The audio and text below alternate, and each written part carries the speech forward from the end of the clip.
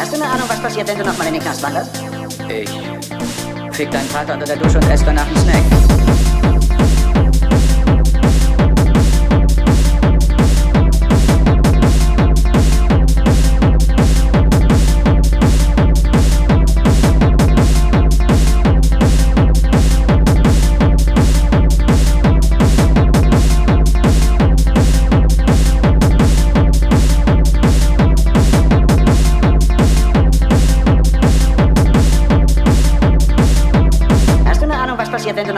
Was?